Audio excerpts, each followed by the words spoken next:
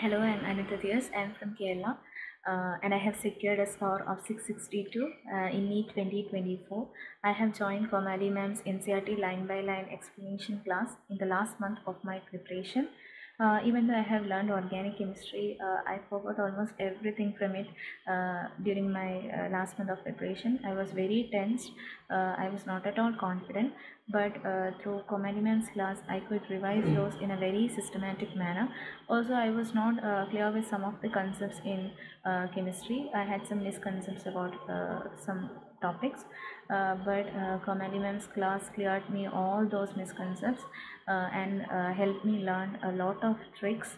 Uh, she also arranged as uh, problem solving sections and doubt clearing sections which were very useful because uh, through problem solving sections of Virat, Virat sir I could revise my um, topics uh, in a very nice manner.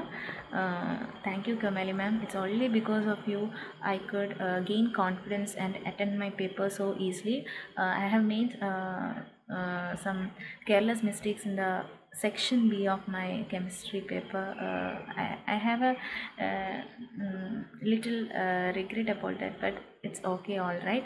Uh, thank God, uh, thank Komali ma'am uh, who helped me gain uh, this much.